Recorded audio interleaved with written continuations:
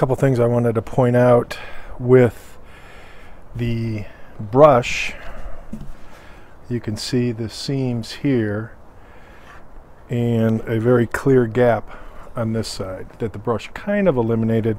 But if you look close and the lighting's not the best, you'll see breaks that uh, were missed.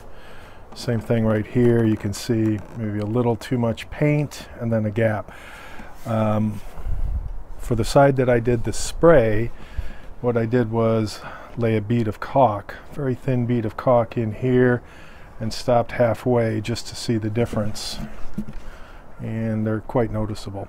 So I think uh, using the caulk after the first coat of primer to seal that makes it look a lot cleaner.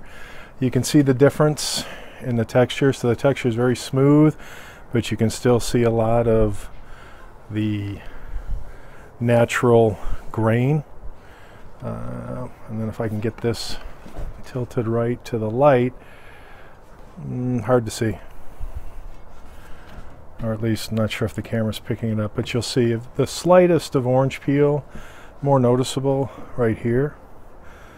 Uh, I was too focused on the divider, whereas more focused on the actual paint technique here. So I think this went down for all practical purposes, being primer very nicely. Flip it over, much more solid coat, but I don't know if you can see, you can see the brush strokes everywhere. Not bad, just visible. And I don't want that. I'm trying to avoid the brush strokes. So I'm going to continue with the next step, and that is to lay down the color coat and see if that takes care of the, uh, the grain, whereas much more filled in with the brush. This was two coats of primer, again unthinned straight out of the gallon container. This was two coatings of three passes each, three light passes each, so six passes with the air gun. And I'll call that two coats as well. So you can see the difference.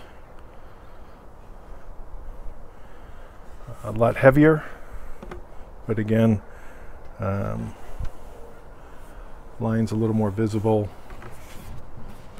than say over here with this texture. So onto the color coat.